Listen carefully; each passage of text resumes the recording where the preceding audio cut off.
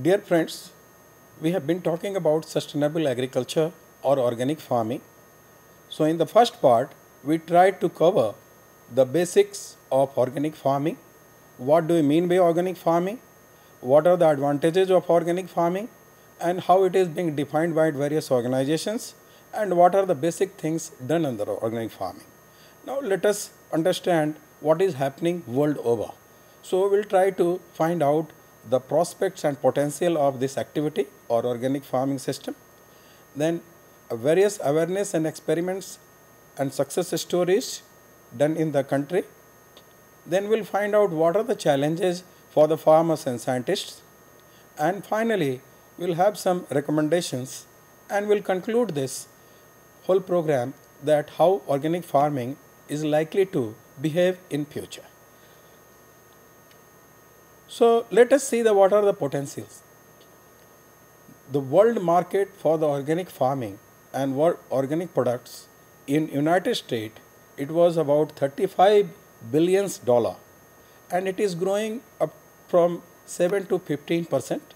So it's a very good indicator that food products demands are increasing day by day.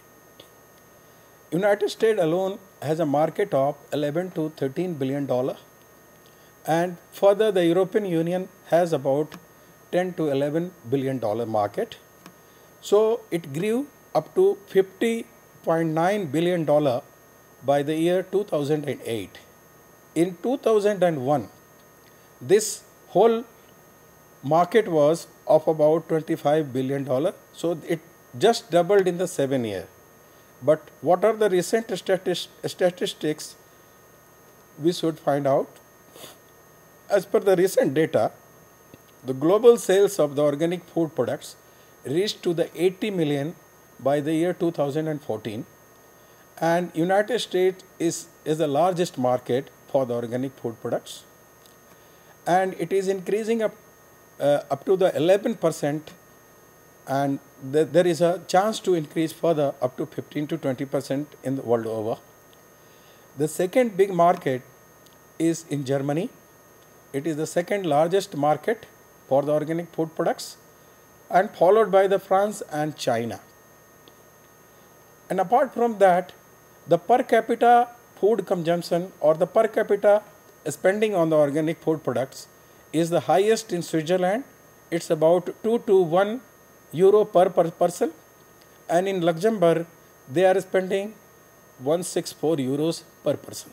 So the per capita consumption of the food products organic food products is also increasing all over the world. So this is an indicator that there is a great demand. What is the scenario in the country like India? We have about 1 lakh 8650 hectare of the land under the organic practices. Total projects is about 2100 now it has gone more than 2100 number of growers who are being supported 919 and 5.5 lakhs farmers are there. And total certified production is being done 17.11 lakh ton. And there are number of processors who are processing the organic food products 427 and total export reported as per this report total export was of about 58,000 ton. And value 5,250 54 million Indian rupees and 112 million US dollar. So that was the outcome. And number of exporters from our country were about 300. So this was this was the statistics in year 2012 and 13. And we have been growing various crops in the country organically and cotton comes at the top, then the rice, then the wheat is also, then the further cereals and other millets about two, 2 lakh 71,042 million ton. Then fruits and vegetable 8 lakh 89,844. So the fruits and vegetables, oil seeds and soybeans and cotton, they are the highest uh, crops or in these areas the India is producing more and more and there is a lot of scope in other areas like herbal and medicinal plants uh, products also because the, there is a demand of herbal and organic products all world over. Now let us see the some recent statistics of the world. About 172 countries, they are producing organic food products. The total area world over is 43.7 million hectares and 2.3 million organic producers are there world over. Australia has the largest organic agricultural area which comes about 17.2 million hectares. As you know in Australia there are a lot of natural grassland and the grassland they are rearing the livestock and they are also producing number of uh, organic products in terms of organic milk, organic food products etc. So natural grassland has also led and it has increased the production of organic produce. Similarly in Argentina also they have large area in the grassland.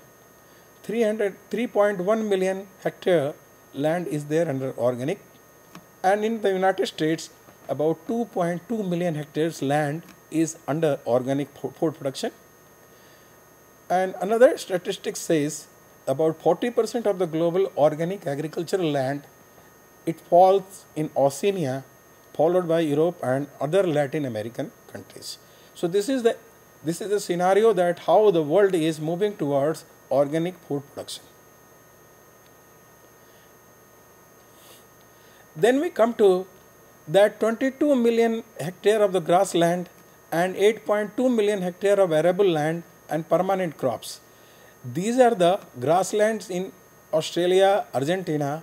They, they form a big part of the land and there, there are 31 million hectare organic wild harvest. Means there are certain forest, there are certain natural uh, habitats where the food products are collected from the nature and there is no application of uh, chemical fertilizers, etc. In India also, we have a large area under the natural food production or the wild food products collection.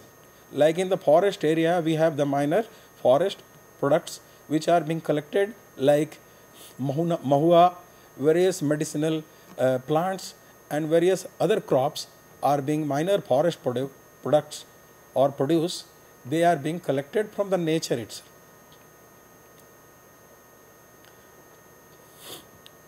So, as per the world statistics, India's rank is 15 as per the 2013 data and it has a land of 5.71 million hectare.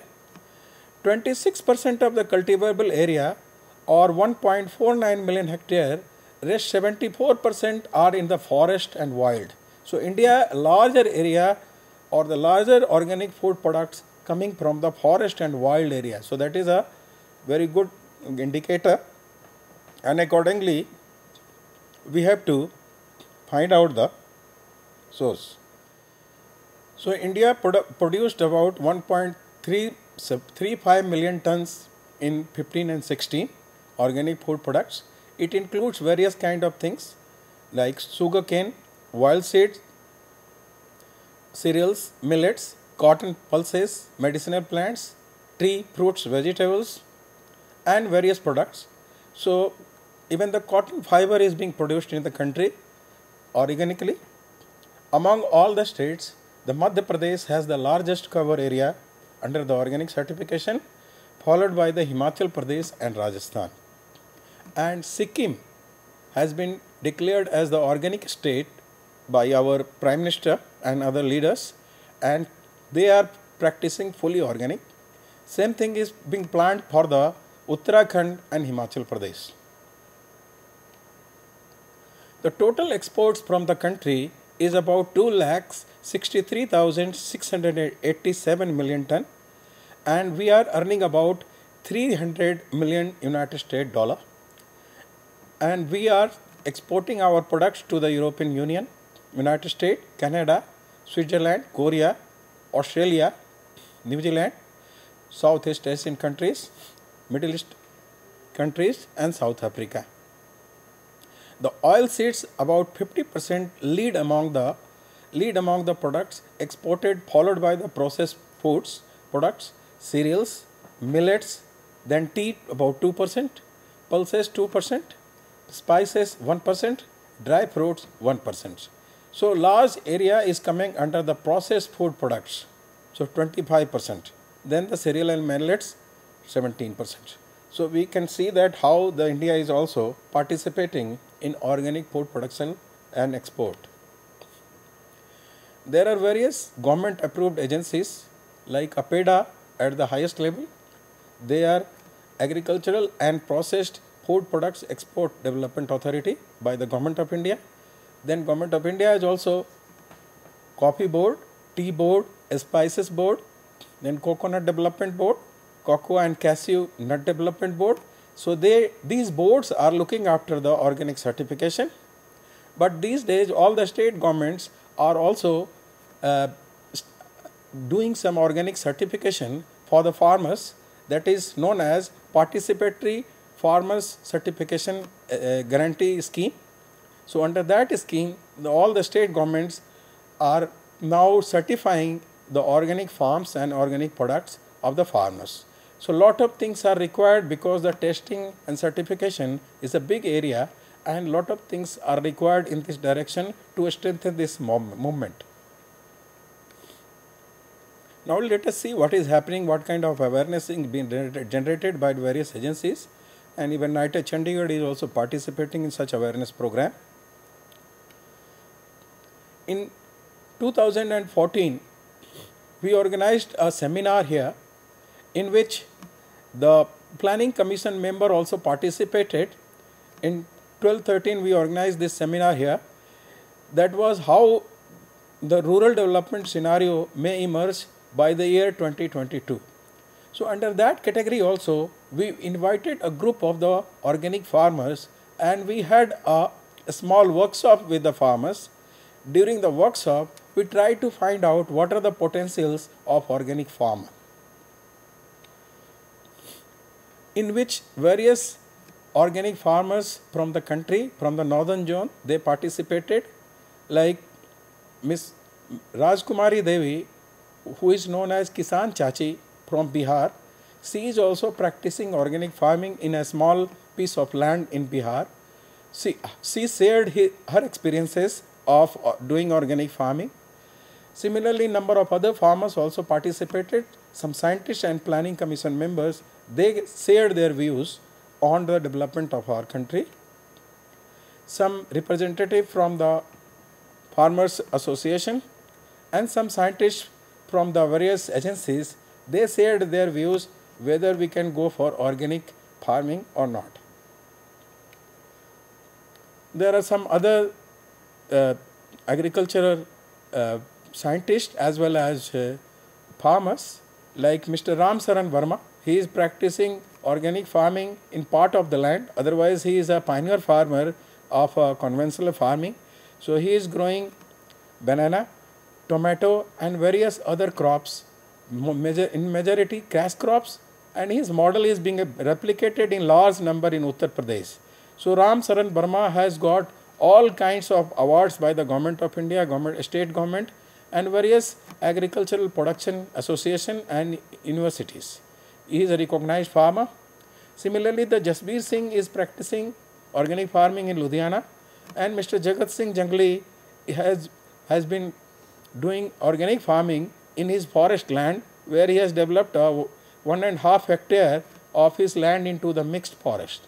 So such people joined hands and they shared their views and these success stories are being replicated by all other farmers.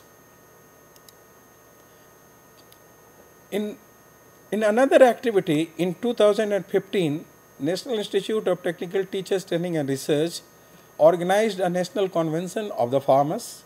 And in that, that convention about 3000 people participated. So it was a big convention.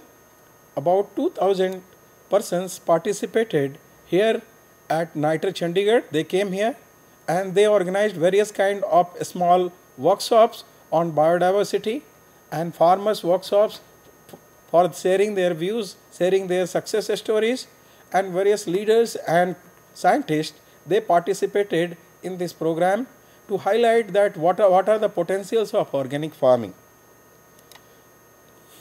So apart from organizing the workshop here, the same workshop was uh, streamlined through the ICT mode and we connected about 10 centers in different parts of the country and the farmers from different centers they also interacted with the scientists in our studio.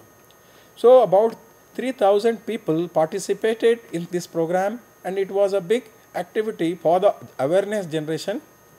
And this is a, this was of one kind of a uh, uh, it provided a big platform to the farmers as well as scientists of the northern region. And after that we took another measures. What are the another measures? In 2015 NITTTR Chandigarh first of all in the July 2017 July 2015 we started a organic food market in the institute itself. In that food market we invited the local farmers and they started coming and they started selling their organic food produce. And gradually the people of Chandigarh became aware and now this market is further growing. So initially it was started at this institute then later on it was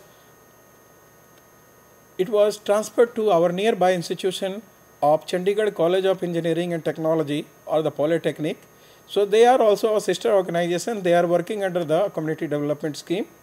So there we experimented it for further one year. And after experiment of the one year, we formed association of the farmers itself named as CHAI, Chandigarh Holistic Agriculture Initiative. So under that CHAI, now this activity is going on and now the Chandigarh administration has provided a land near to the lake and large number of farmers, about 10 to 15 farmers are coming in this weekly market and more than 200 local consumers are participating in this market. So this way we have given a momentum for the farmers so that they can get benefited and they can be motivated to take the organic farming as a profiting venture and it can provide the livelihood to the farmers. So this is a data uh, under which the how the sale of the various products uh, of the farmers was done in the last uh, one year. So we, here there is a data from September to July 2016, September 2015 to July 2016. On an average sale, there was 50,000 to 762. That was the monthly sale of the total organic uh, produce. And the average gain per farmer about 6 to 7000 of rupees. Some of the farmers got 9000 some of the farmers got 5000 so average comes about 6345 rupees. So now it is increasing because the number of consumers have increased and the farmers are uh, of the same number 8 to 10 farmers are participating this this weekly market so this is an experiment done by the NITTTR Chandigarh and now it is being done by the various other agencies. So seeing the success of this, this market, number of polytechnics and other institutions and NGOs, they are also participating this organic food market and in various parts of the Punjab these days weekly food market or the twice uh, two, two times in a week the markets are being organized in various parts of the Punjab.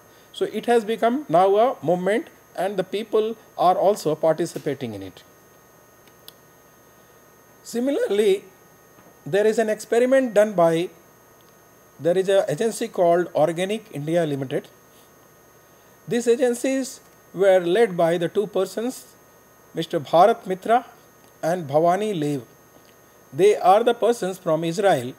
They came to India for some spiritual purpose but they started a venture with the farmers in Uttar Pradesh.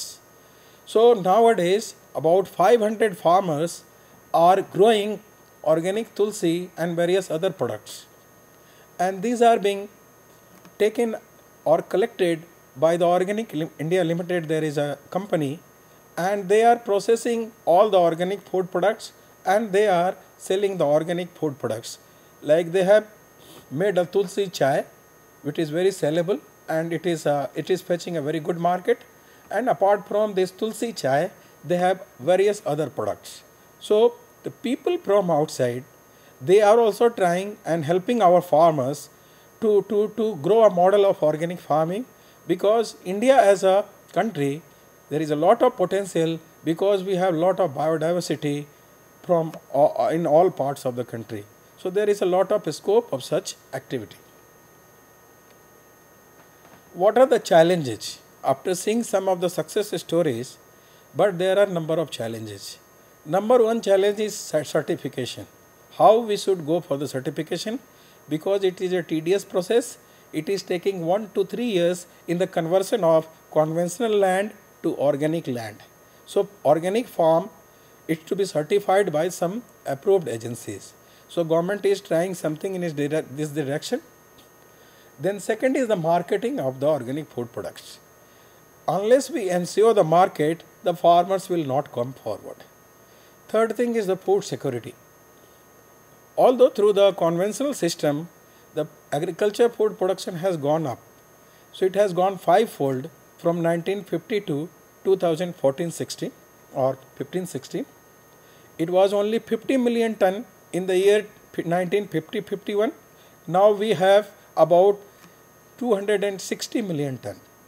So the food grain production has gone up. But the food security is a different issue.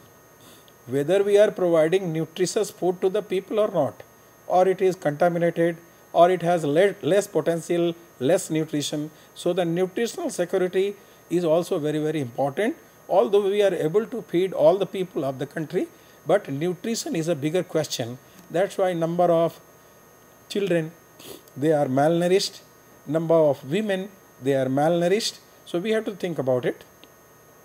Then we have to save the biodiversity. So india is rich in the biodiversity. We have varieties of crops in all all areas like cereals millets uh, cows buffaloes all kind of breeds and varieties we do have. So we should further strengthen our local breeds and species. That is very important.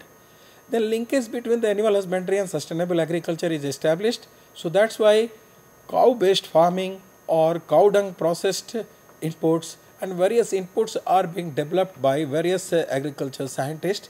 Like some of the scientists have introduced like zero budget farming which has been introduced by the Subhash Palekar which, which says that based on the cow dung uh, production and based on the cow's availability we can go for the various formulation of the cow dung products which can work as an input for the organic food production. So animal and animal husbandry and agriculture, this linkage to be strengthened. Then there are low, low productivity. So we have to also tackle this issue because we have to feed the people along with the better production. And finally, how we can go for the export quality. Because in European Union or the United States market, they are very, very strict and there are very stringent laws only after testing each and every aspects they pass or certify our products. So we have to come to that standard and how we should go about it. So after the all kind of research being done at the various universities and various places in the country, what are the various recommendations came from the scientists and uh, thinkers. Number one, we have to go for the research on the quality inputs and outputs both. So the seeds, can we have the traditional seeds, sturdy seeds for the farmers so that they can go for organic farming in a better way? Then can we generate a quality compost from our natural uh, cow dung or the biomass? So quality compost is another issue. Then how we can enrich with the biofertilizers and how we can go for the biocontrol through the biopesticides or recommended uh, bio, bio insecticides by the government of India or the organic farming board. Then with the increasing demands of the green products, we have to also develop the infrastructure and the people. So the scientists, planners, entrepreneurs, farm managers, green company managers, they should be trained and farmers must be trained further and further so that they can come to this movement and then participate this activity.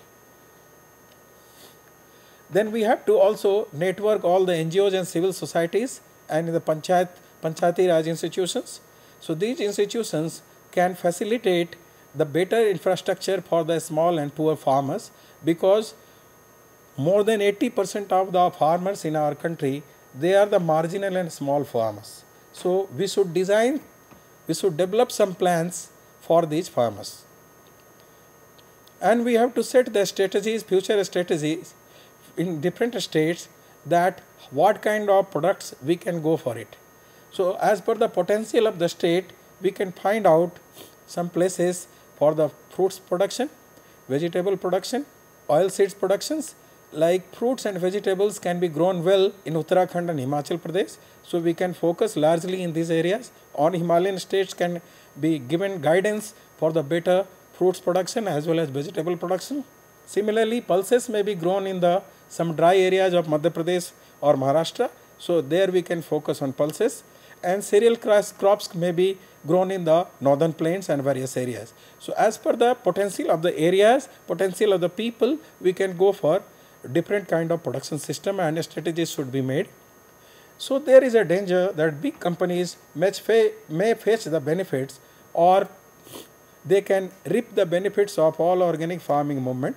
Already the Fab India, Reliance, ITC and various big companies are in the market. But how we can reach to the poor farmers, that should be the question mark and we should make strategies for them. So there are some thrust areas for the research so that we can strengthen this movement. We have to do research in the various inputs like how we can grow genetically sturdy seeds, then manure or the compost, then biofertilizer, how it can be added, then how we can rely on our biodiversity of the millets, cereal crops and pulses. So we have to go for the mixed cropping. So that is the demand, polyculture or mixed cropping in the organic farming. Then we have to also check the impact of the climate change on agriculture. So as per the agricultural zones, we should plan our activity. Then the traditional cows and livestock, they should be also protected because they are the genetic resource available with us and it has been found now the milk quality of our traditional livestock is better than the the breeds which are coming from outside so the local local breeds of the cows and buffaloes they have a healthy healthy food or healthy milk. So how we can further strengthen this activity? Then herbal and medicinal plants have also great demands in the market and we have lot of potential. Already india is rich in the ayurvedic food products or ayurvedic, ayurvedic medicine. So government of india has also started a scheme of ayush ayurveda homeopathy yoga and siddha and other uh, traditional medicine. Then tea and spices. Already the India is performing very well and our spices and tea is being exported all world over. Then organic fruits and vegetables, as, as I told, there are scope in Himachal Pradesh and various other places where the fruits production is better and vegetables are the key for the, for, for the farmers. Then honey production also, about 80,000 ton of honey is being produced by the country and Punjab is the leading state followed by Uttar Pradesh and various other states. So they are also participating in honey, produ honey production. So what is the conclusion? Conclusion is that gradually we should switch over to the organic farming so that we can contribute to the sustainable development of the whole world. And for that the slogan is we have to think organic do organic and then eat organic. If we think organic, do organic and eat organic, we'll be a healthy person and we can contribute better for the development of our country and for the development of humanity and the society. So that is the conclusion and let us thank you for your patient listening to, to this edition and you can you can further conclude an experiment at your place that whether the organic farming or sustainable agriculture can be done through this important slogan of think organic, do organic and eat organic. Thank you very much.